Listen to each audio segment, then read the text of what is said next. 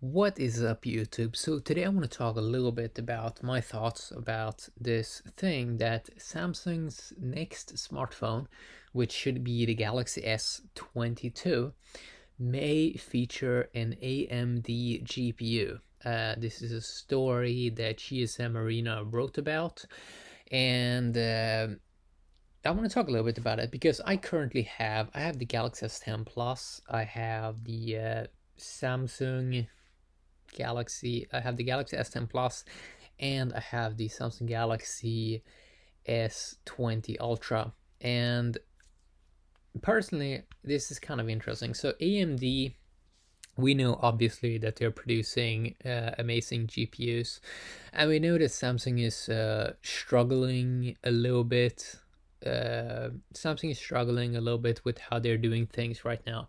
So the way Samsung are doing things right now is in kind of in Europe, uh, they have one variant of their latest Samsung flagship device that usually get the Exynos processor.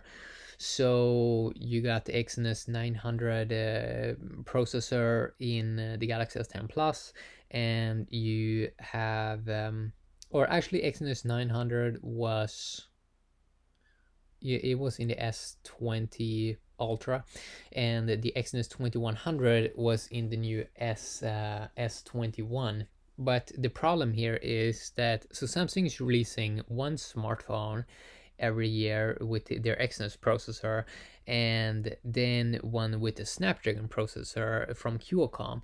And the Exynos processor has always been slower, I think around maybe like 20% slower than the Exynos variant. This means if you're buying the same smartphone but in a region, let's say in Europe, you're getting actually a slower smartphone than maybe what you would get in North America that would get the Snapdragon variant of the same smartphone.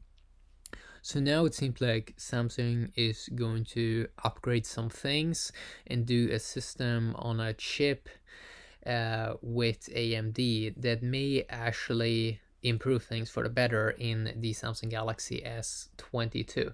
We also know that Samsung is doing, um, I think they say goodbye to the Note series. It seems like we're not gonna get those phones anymore, but we know that Samsung are, are doing these uh, flip phones uh, like the Galaxy Z Fold. So maybe the new variant of that is gonna get this new AMD GPU. Uh, but we just got the Galaxy S21, so the Galaxy S22 may be uh, a year from now. So that is uh, that's a little bit boring. Uh, that it's gonna take that kind of long time before we would see this. Now, personally, I've been gaming on the Galaxy S20 Ultra and and uh, it's not like the GPU or anything is is struggling. Like for example, I've been playing um, uh, League of Legends Mobile Wild Rift, and the graphics are basically amazing, uh, amazing performance, stable, 60 frames per second.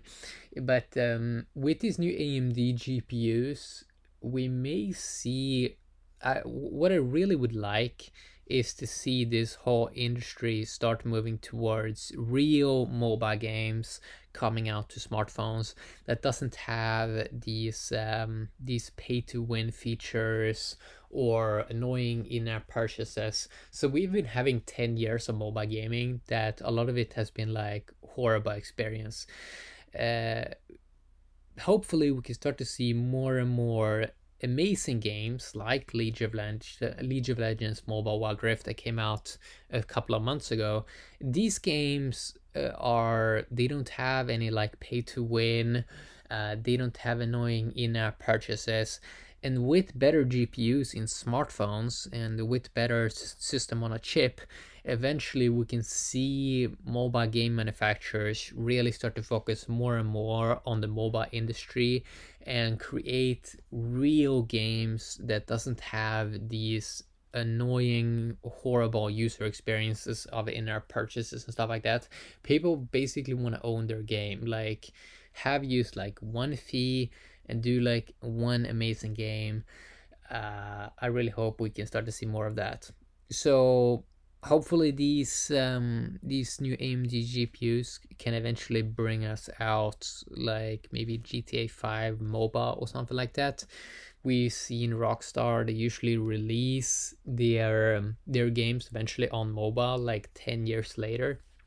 And we're kind of getting close. So GTA 5 launched in 2013 it's soon uh, 2022 so maybe eventually we are gonna have as powerful gpus in smartphones that we, we eventually can power like real really good games in in, in smartphones.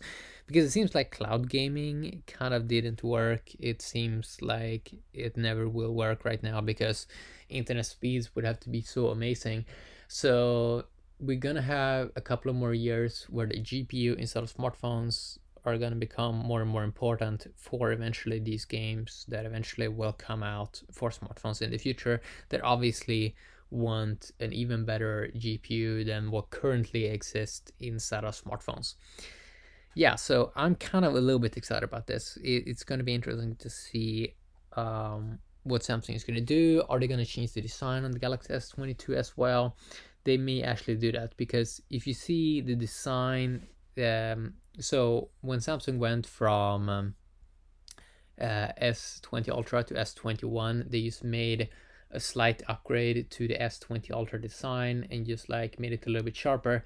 But we may see a total redesign uh, with the S22. That's that would be really really exciting. Yeah, have a great day.